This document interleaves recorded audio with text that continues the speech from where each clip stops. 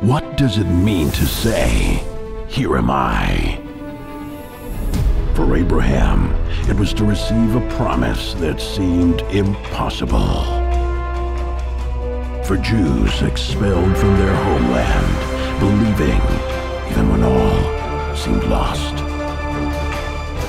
Non-Jews who stood beside the people of Israel, friends of Zion.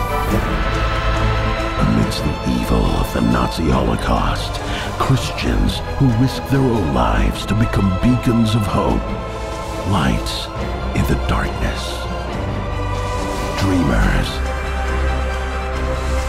visionaries, and brave.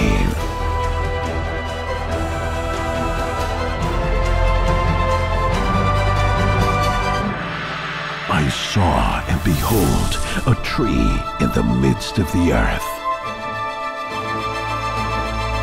Discover the stories and embrace the connection through a cutting edge interactive multimedia experience.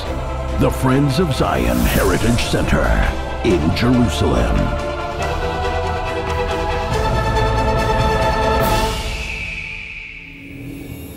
Now playing only Holy Land.